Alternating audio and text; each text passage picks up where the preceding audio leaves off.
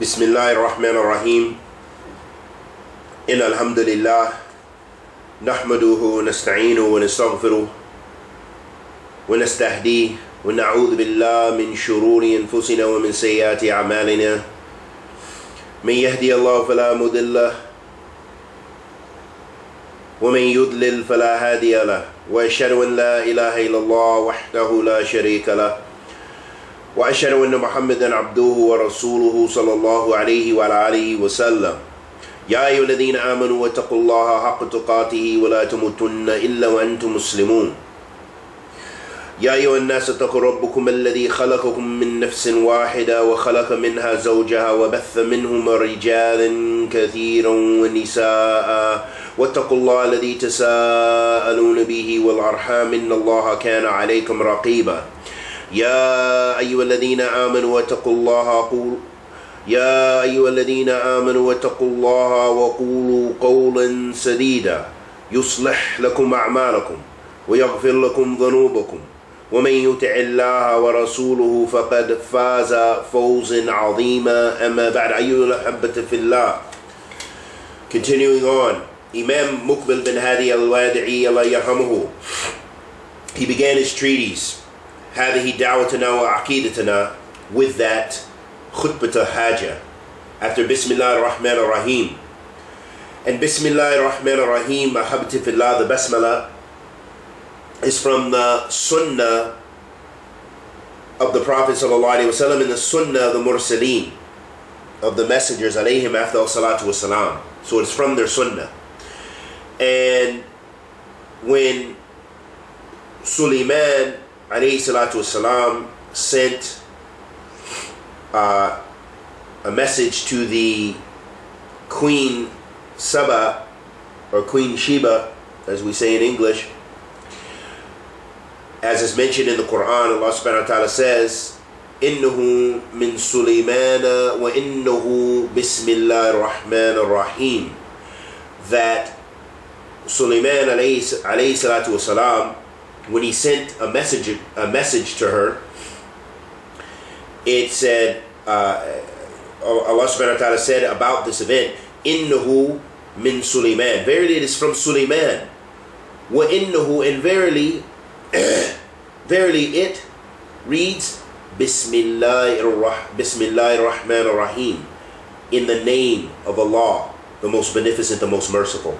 So this is from the Sunnah of the Mursaleen to begin their Islamic writings and their messages and so forth with the Bismillah.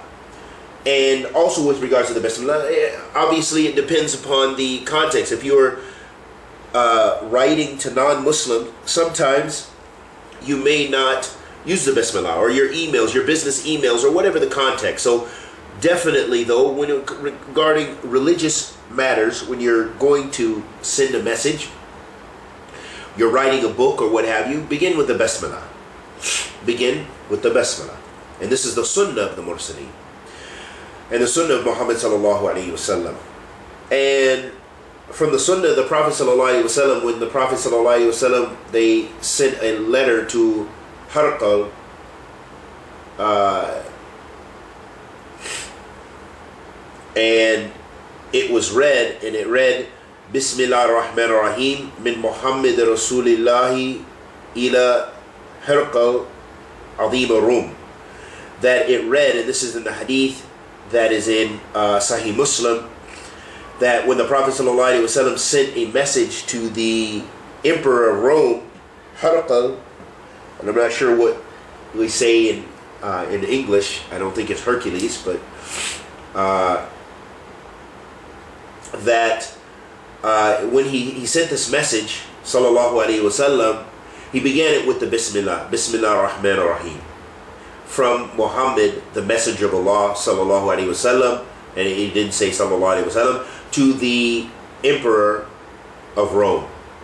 And so this was the way of dawah of the messenger of Allah, sallallahu alaihi wasallam. So then it is become a sunnah in Islam that you'll find the books of the ulama and the salaf began with the Bismillah.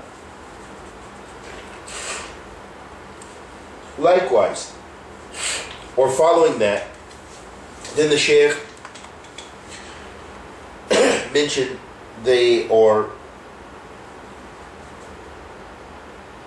recited in his risala or placed in his risala the khutbah al-hajjah which is also from the sunnah of the prophet muhammad sallallahu alaihi wasallam that whenever he would give a talk or the khutbah or what have you he would make the khutbah al-hajjah or even in nikah in marriage the marriage ceremony. That's also from the sunnah uh, as narrated by Ibn Mas'ud radiallahu ta'ala and that the khutbah al-hajjah which begins with praising Allah subhanahu wa ta'ala in alhamdulillah nahmaduhu wa nasta'inuhu wa nastahdi and that, that shows humility. That here you're beginning by praising Allah subhanahu wa ta'ala. In alhamdulillah all the praise belongs to Allah. And you say we praise him. We seek refuge in him. We seek forgiveness from Him. And we seek guidance from Him. And we seek refuge in Him from the evil of ourselves and the evil of our wicked deeds, of our deeds. And whoever Allah guides, there is no misguidance for him. And whoever he leaves to go astray, there is no guidance for him. And then you make that honorable shahada I bear witness that there is no God worthy of worship except Allah alone, who has no partners. And I bear witness that Muhammad is his slave and messenger, sallallahu alaihi wasallam. So that right there, Habitullah, the beginning of the khutbah hajj is so powerful. It's a powerful dua. And it's seeking refuge in Allah subhanahu wa ta'ala. And it's praising Allah subhanahu wa ta'ala. So it is not befitting for us especially if we're going to give a talk or in a khutbah or a lecture, especially if it's a longer content, to at least uh, follow the sunnah of the Messenger of Allah sallallahu wasallam and bring the khutbah al hajjah. And this is how a lot of the ulama they begin their books with a variation or another of the khutbah al hajjah or at least those components of praising Allah subhanahu wa ta'ala, thanking Him, seeking refuge and guidance from Him and forgiveness from Him, subhanahu wa ta'ala. And this is what our Shaykh, Shaykh Muqbil bin Hadi al-Wadi'i, Allah yarhamuhu, did in the beginning of his Risala, and then the ayats that Allah subhanahu wa ta'ala uh, that are mentioned in the Quran and the Prophet ﷺ mentioned in the Khutbah al-Hajjah, Ya ayyuhalladhina amanu, ittaqullaha haqqa tuqatihi wa la tamutunna illa wa antum muslimun. O you who believe, fear Allah his rightful, the rightful fear, that true taqwa. And don't die and accept, don't die except in a state of Islam as Muslims. That's that's powerful, that ayat in and of itself, of course. Allah subhanahu wa ta'ala is addressing the believers. Ya ayyuhalladhina amanu wa O you who believe, fear Allah. And fear Him the rightful taqwa, you know, the full taqwa to the fullest extent. Haqq. Haqq taqati. You know, full taqwa. And do not die except as Muslims. And then Allah subhanahu wa ta'ala commands the believers to not die except in a state of Islam, letting us know that we can be misguided. And we've seen countless examples of people going astray, not just in bid'ah, but bid'ah mukaffara, and leaving the fold of Islam. So we have to praise and thank Allah subhanahu wa ta'ala for the Islam that He's given us and constantly ask for forgiveness and guidance, ikhlas with Thabat ala Sunnah, so that we meet Allah subhanahu wa ta'ala in that state. And this may be a bit off topic, but this is also very, it has some relevance too, to this. As uh, is known by some of the communities, the individual Murad Storm, he is a uh, you know he was a spy for the CIA and he and for the Denmark intelligence services and now he's coming out possibly with a, a, movie and he has his memoirs and the and the papers are putting out. He was on CNN this individual Murad he was a new Muslim. He came to Yemen. Uh, I know him very well from that time. And he knew Sheikh Muqbil, Allah.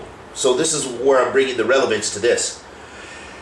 And obviously he did not have tawfiq from Allah subhanahu wa ta'ala because he openly has left Islam and he worked for the intelligence uh, agencies and you know is publishing his memoirs and this and that and the other and has death threats. But what I can say about an individual like that he was one of those individuals who came close to major people because Sheikh Muqbil knew him Allah yarhamahu personally because the man was that kind of individual. And then with him being new, he went from dawah to dawah, not having that tawfiq from Allah subhanahu wa ta'ala, seeing what the takfiris had to say, seeing what the Khawarij had to say, seeing what these groups and these groups. So he got in with the extremists, and, and then he, even from his own story, he went to the UK, got with the extremists there. They have videos of him marching with those guys and whatever, and all the other activities that they do that the takfiris do in the UK because they can be open. In America, you can't do that. To make a long story short, Fillah, he didn't have tawfiq, and now he's not even, doesn't even have the light of Islam.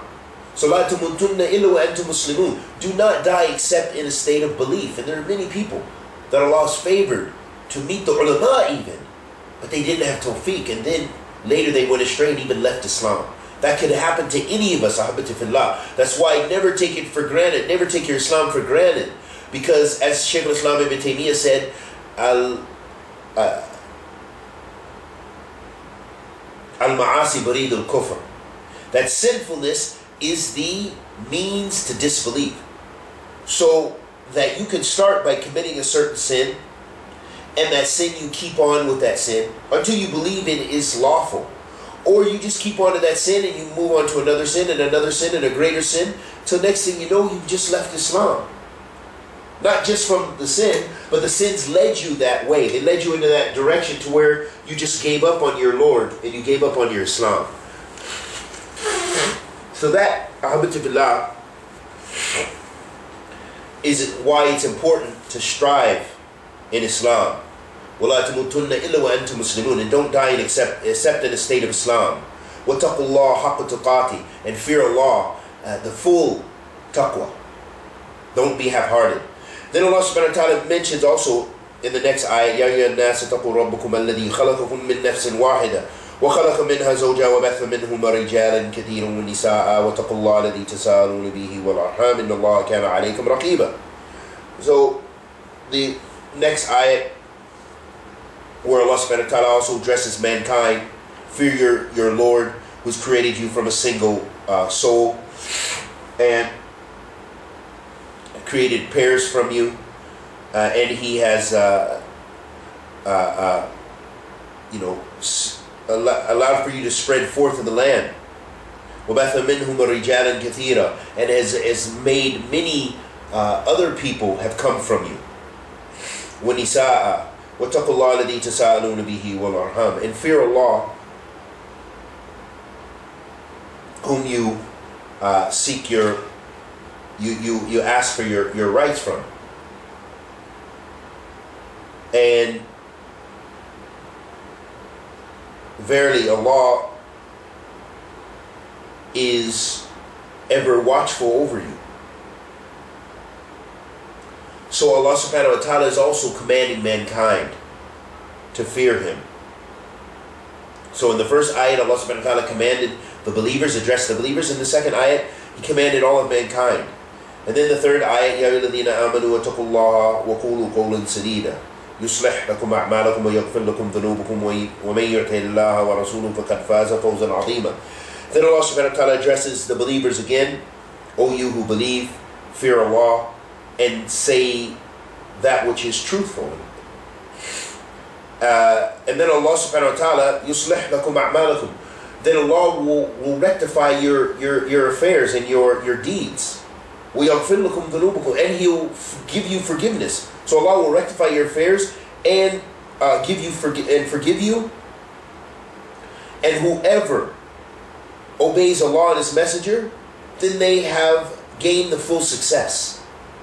So Allah subhanahu wa ta'ala is giving us a prescription for success. All those ayats encourage us to taqwa Allah Azza wa Jalla.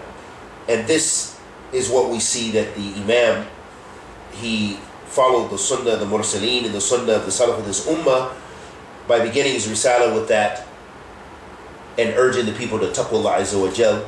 And he was known to be a person who practices what he preaches, to have taqwa, to exhibit taqwa by practicing and loving and exhorting and exalting the sunnah of the Messenger of Allah sallallahu alaihi wa wasallam. And then he said, Amma ba'd. And as for what's next, then the Shaykh went on to mention in this part, we'll just summarize before we actually get into the meat of the Risala. There are some other things that have not been included in a lot of uh, the translations of this.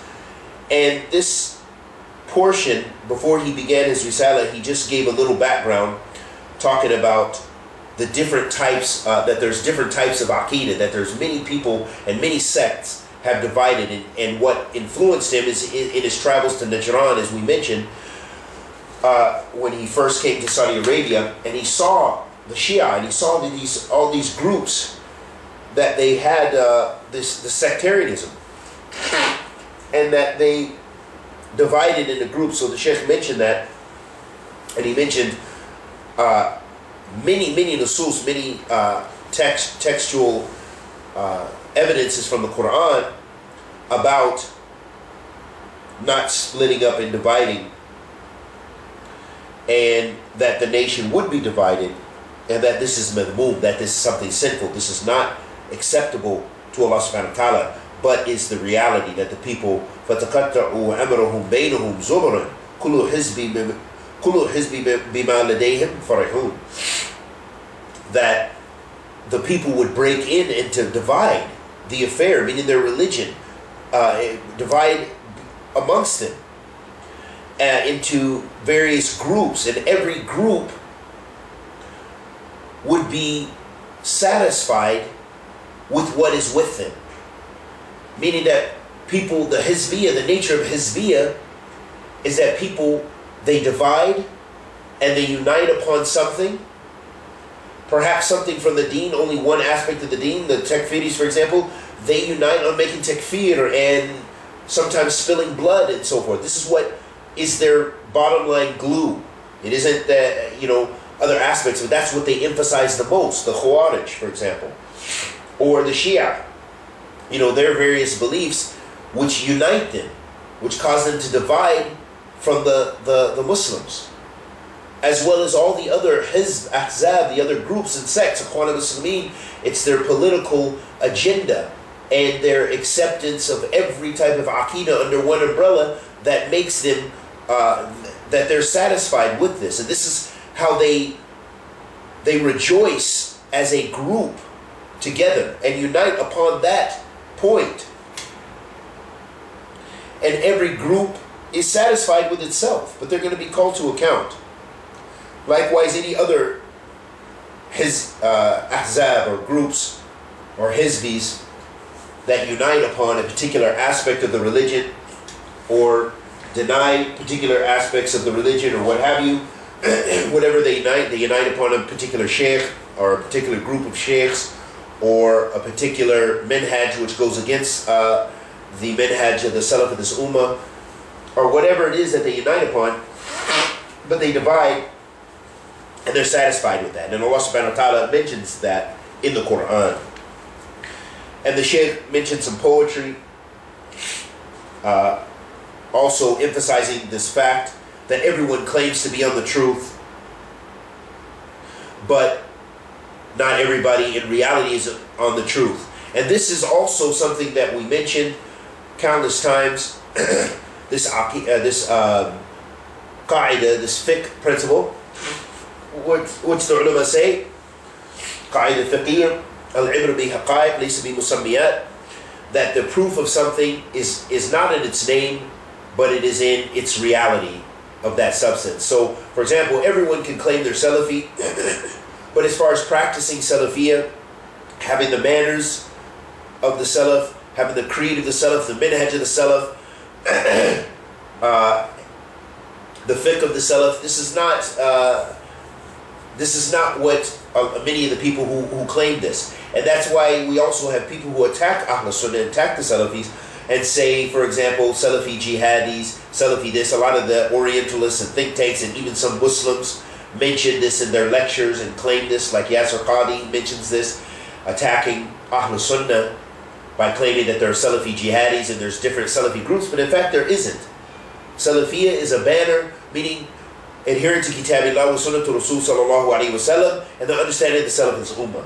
And issues of ijtihadat do not take a person from that Salafiyah, from that main minhaj, that main creed and usul. Of course, no two individuals are going to agree, but they have a madhab, a minhaj in which they share. This is what makes a person from Ahl Sunnah. So although people claim to be from Ahl Sunnah, even you have the Naqshbandis, you have various Sufi sects, they say we from Ahl Sunnah wal Jama'ah. You have uh, the extremists, they say this as well, the Takfiris, and those other groups that just uh, bring about brutality that we've we've almost not witnessed in this this time and age that they claim that they're from Ahl Sunnah. So many groups, the Asharis, they claim they're from Ahl Sunnah. Many groups claim to be from Ahl Sunnah, but as the Sheikh mentioned, and, I've heard him countless times mention this in, in his tapes, especially uh, this piece of poetry, he said, "Kullu yud uh, kullu yuda'i." Uh, وَصْلًا بِلَيْلَةٍ وَلَيْلَ لَا تُكِرُ لَهُمْ بِذَاكَ That every person claims to uh, to to gain Layla. You know, they're all fighting for the attention of Layla and to claim they they have won her heart basically. And Layla, she doesn't agree to any of them. So everyone is claiming that, but it's a false claim. But she has not accepted any of them. They're all suitors as if they're proposing to her. And likewise, the groups and sects, there's almost suitors claiming that they are from Ahl Sunnah, claiming that they're from the Firqat Najiyah, and that they want to be from that group but yet what they are upon, their methodology and understanding Islam, their practice of Islam, differs with that radically. And this is the point. So the Sheikh mentioned his experience in the beginning of the treatise with a lot of the Shia, especially the the Ismaili, and that they're in Najran, and you'll find some in Medina, and you'll find them in Bahrain, and also a famous place here where I live now in Qatif, uh, and and so forth that you'll find uh, this this group, and they're in the Madhab al Batiniya, that they hide a lot of their uh, their creed, and that Sheikh al-Islam ibn Taymiyyah said that they have more disbelief than the Yehud and the Nasara, than the Jews and the Christians. So showing us the danger of some of these deviant groups that have bid'ah mukaffara. So the Sheikh talked fairly extensively about that and brought lots of ayat showing ayat showing that uh, that the ummah would break up and that the danger of sectarianism. And then he began his treatise uh, with the first statement, and we'll mention that in the next sitting instead. And we ask of Allah the Almighty to accept our good and forgive our evil. Anything I said that was correct was from Allah Azza wa Jalla. Anything I said that was incorrect was from myself. And the shaitan sallallahu wa sallam ala nabiyyina Muhammad wa ala alihi wa sallam.